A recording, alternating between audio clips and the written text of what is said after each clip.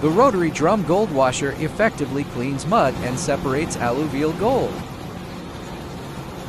Paired with a centrifugal concentrator, gravity separation boosts gold recovery. The jigging chute further refines gold selection streamlining the panning process. Collected alluvial gold shines brightly visible results on site. The entire workflow is efficient and compact ideal for fast returns on alluvial gold. The shaking table fine-tunes the concentration, raising gold grade and purity.